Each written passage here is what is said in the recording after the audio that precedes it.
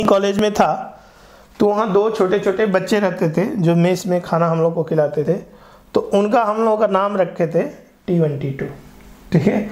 एक वेरिएबल का नाम, एक बच्चे का नाम वेरिएबल असाइन कर दिए थे टी वन दूसरे का नाम रख दिए थे टी टू तो T one T two is very famous name for me तो two satellite S one and S two दो सेटेलाइट है, और एक का नाम एस वन है, और एक का नाम एस टू है। Moving in the same orbit, the mass of s1 is 4 times s2 which of the following statement is correct?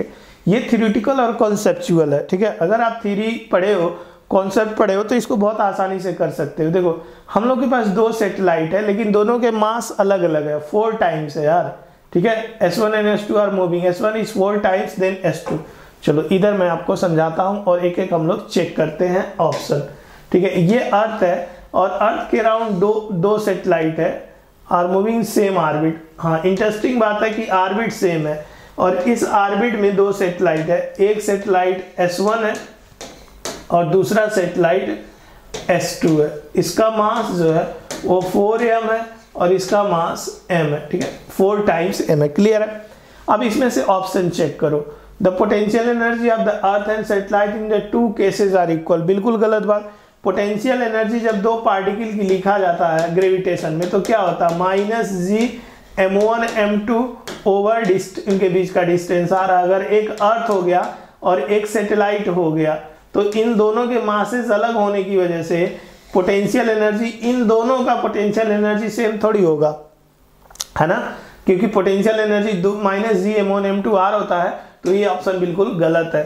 S one is moving with same speed S1 और S2 की speed same होगी। Speed कौन सी speed होती भाई? Orbital speed होती है। तो आर्बिटल स्पीड का फॉर्मूला क्या होता है? रट लिए हैं हम। जीएम ओवर आर्बिट का distance GM over R R जो है आर्बिट का डिस्टेंस है। ठीक है? या कभी कभी आप ऐसे भी लिखते हो GM is equal to capital R plus H H surface से हाइट है।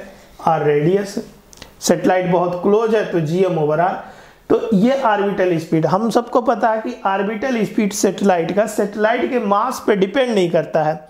एक आर्बिट में ठीक है आ, मतलब एक ही आर्बिट में इसका मतलब ये हुआ एक ही आर्बिट में मैं बड़ा सेटेलाइट रखूँ छोटू सेटेलाइट रखूँ ठीक है बहुत बड़ा रखूँ तो उससे आर्बिटल स्पीड पे कोई फ़र्क नहीं पड़ता है। Orbital speed does not depend upon the mass of the satellite that is B option सही है। Kinetic energy of two satellite are equal क्या काइनेटिक एनर्जी इक्वल होगा? बिल्कुल गलत बात। काइनेटिक एनर्जी क्या होगा? हाफ़ एम बी स्क्वायर ठीक है? बॉडी की मास अलग अलग है तो काइनेटिक एनर्जी अलग अलग होगा। गलत बात। ठीक है?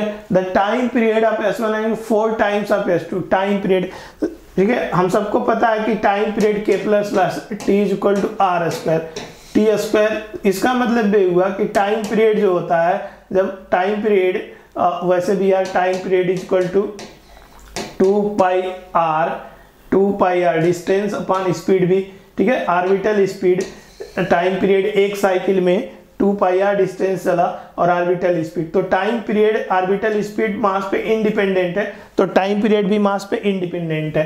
टाइम पीरियड मास पे डिपेंड नहीं करता है, ठीक है? मतलब बी ऑप्शन सही है, ठीक है? चलो।